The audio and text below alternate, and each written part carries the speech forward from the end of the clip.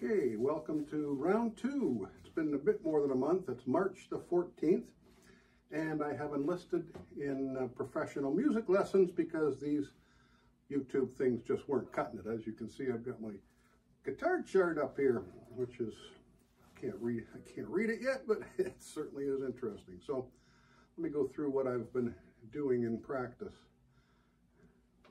Here we go.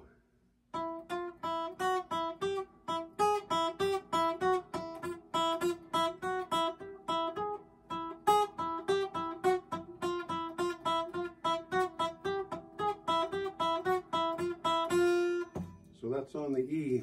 You're supposed to be able to do that on all the chords, of course, all the uh, strings.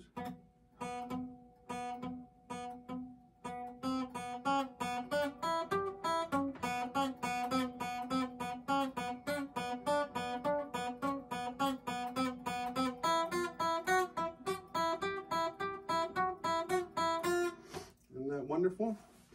Then I've got a three chord practice with D sus9 which is thus. D sus9, then I have to go to C add 4, and then G. So I got to do that a little quicker now.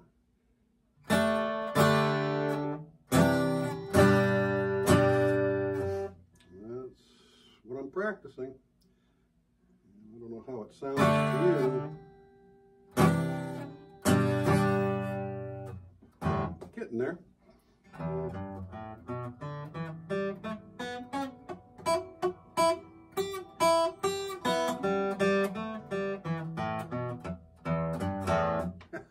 a little rough.